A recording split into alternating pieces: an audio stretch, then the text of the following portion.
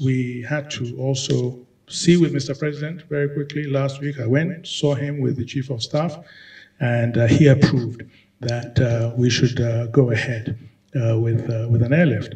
And um, so we negotiated with, uh, with, with, with Air Peace. So we have tentatively fixed for Wednesday.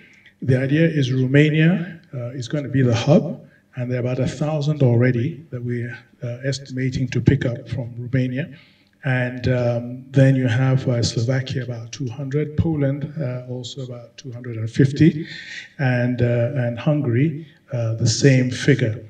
There are about 150 going into uh, wanting to go through Russia that we have asked students, are ambassadors, to try and get transit um, permits uh, for. Some of them don't want to come back to the country, but the point is also that we've given a commitment to these transit countries uh, that have given us timelines for, um, for, for, for, the refugees to stay uh, in their countries, you know, and um, so we also have an obligation to ensure that within that timeline that they come back.